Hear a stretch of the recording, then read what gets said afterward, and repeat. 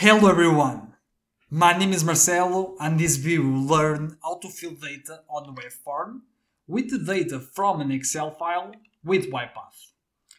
So we have here a form and I will share the link for this form on the description of this video so we can follow this tutorial. And so we will create automation that will read data from this Excel file. And so for each row of this Excel file, our automation will input the data on each field. So we'll put the name on the field name, uh, the age on age, and so on. And then we'll click on the submit button. And so we'll do this process for each row. So we'll submit the data of each row here on our web form. So let's start with our automation. So what's the first thing that our automation should do? So our automation first should read the data from this Excel file. So extract the data from this Excel file so we can use the data during the automation. So uh, for that, so let's go to UiPath Studio. Let's use an activity that extracts data from the Excel file. So let's click here on activities and let's search for read range. And so we can see here two read range activities. Let's use the one from workbook. So let's drag this activity to our sequence. And so this activity can extract data from an Excel file. So first we just have to provide the path to the Excel file. So let's click here and let's indicate our Excel file. Then we have to indicate the name, the sheet name from which we want to read the data. So we can see that it's sheet 1, so we don't have to change here. And then here, so the range, so here we can specify uh, from where we want to extract data from the Excel file. So in this case, we want to read the whole data, so we just have to uh, give, so leave this uh, property empty. And so by this way, our activity will extract the whole data from the Excel file. Then make sure this uh, property uh, is checked, so the property add headers. So by this way, uh, UiPath will consider the first uh, row of our Excel file as the row of the column names.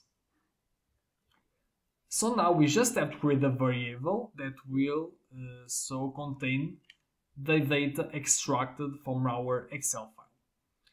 So here on output, let's click here and now let's create the variable and now let's give the name dt underscore webform data and so we have already created our variable. So now if we run our automation this variable should have the data here from the Excel file. So let's just see uh, if it happens. So let's here use a write line activity and let's here open double quotes and let's just type in Excel. So I'm just using this activity so we can here toggle a breakpoint and so if you run now our automation in debug mode, the automation will stop here and then we can see the value so that contains our variables. So let's run our automation in debug mode. So make sure you click here on the option debug. And now as you can see, our automation stopped here and we can see here the value of our DT webform data variable. So if you click here, we can see that it contains the data extracted from the Excel file. So our automation is working as it expected. So let's just stop our automation and let's just delete here the write line. So after we get the data from the Excel file, we have to open the browser on the web form. So uh, for that, let's use the activity use application browser. So uh, this activity allows us to open an application or browser during the automation. So let's so let's drag it after the read range activity.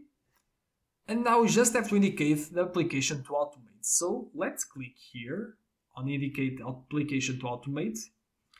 And now let's go to our browser and make sure the browser is already open on the web form.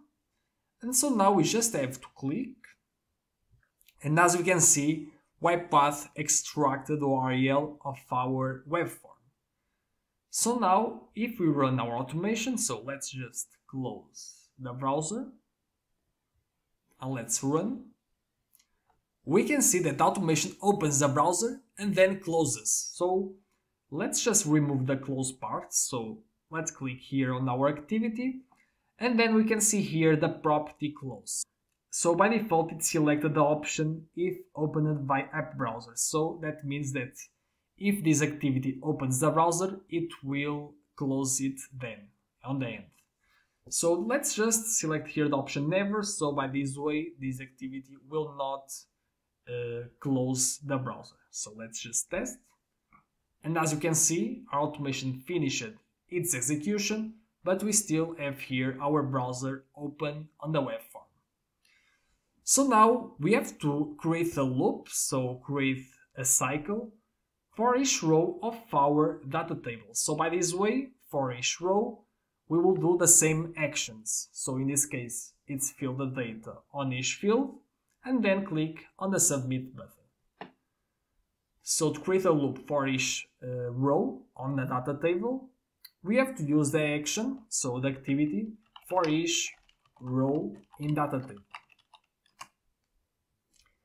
So as you can see here, the activity, so let's drag this activity for here.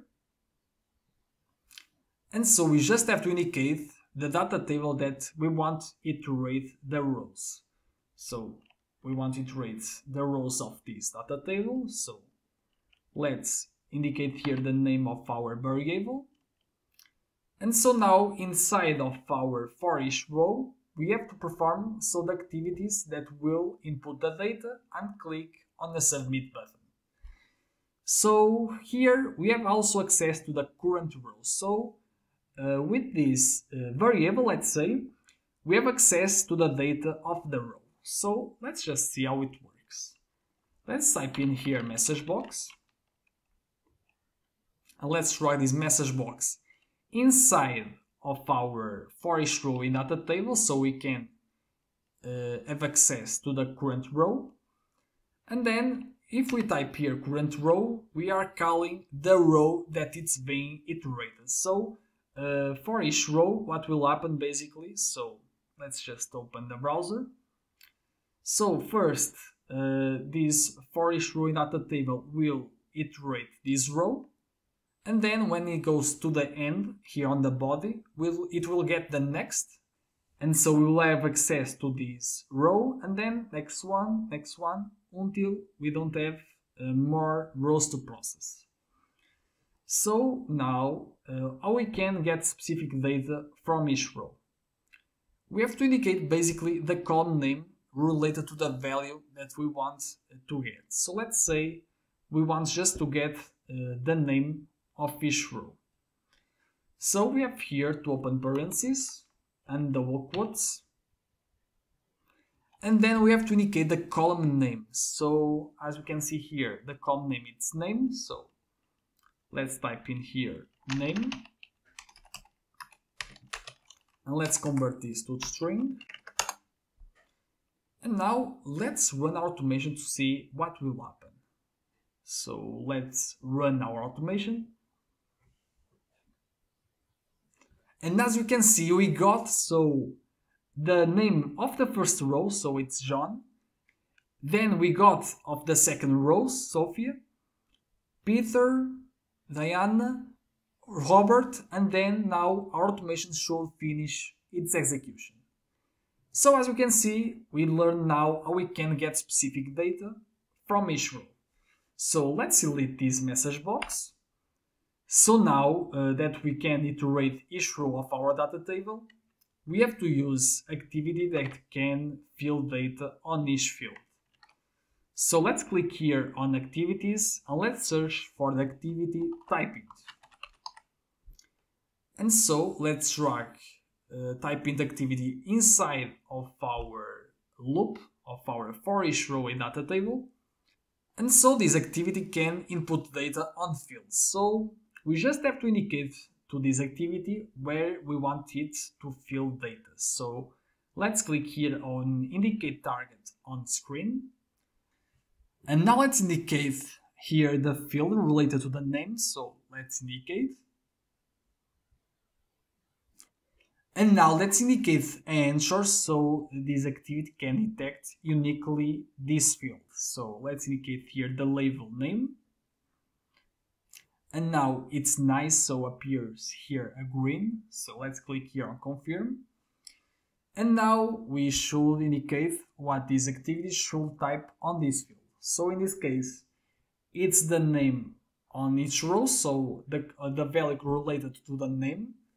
So let's call here our row open parentheses double quotes and so as we can see on our excel file the column name its name.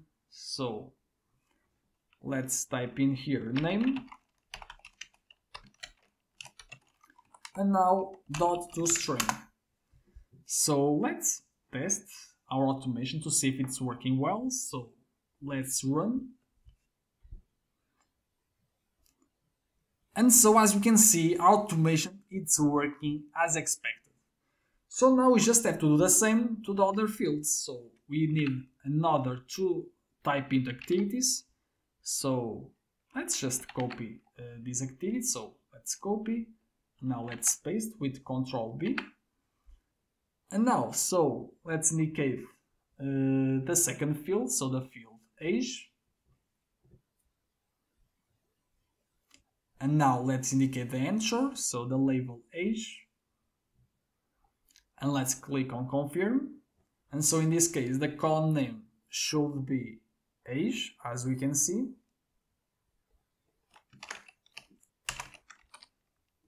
And now here for the last, so will be for uh, the field city. So let's indicate the answer. Let's confirm.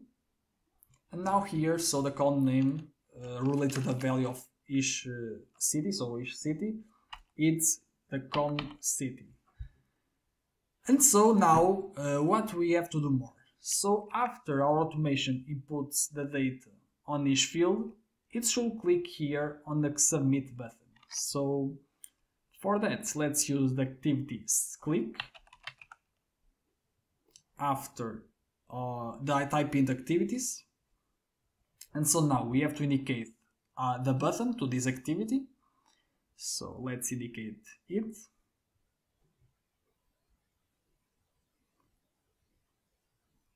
And now let's confirm. And so let's see what appears next. So let's here just type random data. Let's click on submit. And as you can see, after our automation click on submit, it should click also here on this link on where say submit another response. Because if it doesn't click here it will not be able to input the data of the next row. So let's add another click to click here so on this link.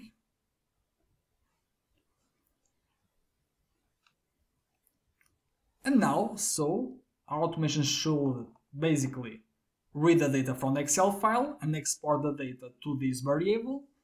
Then open the browser on our web form and so for each row it should so basically fill the data on each field, click on the submit button and then click so here on the link submit another response to be able so to input the data of the next row. So let's close the browser and let's run our automation.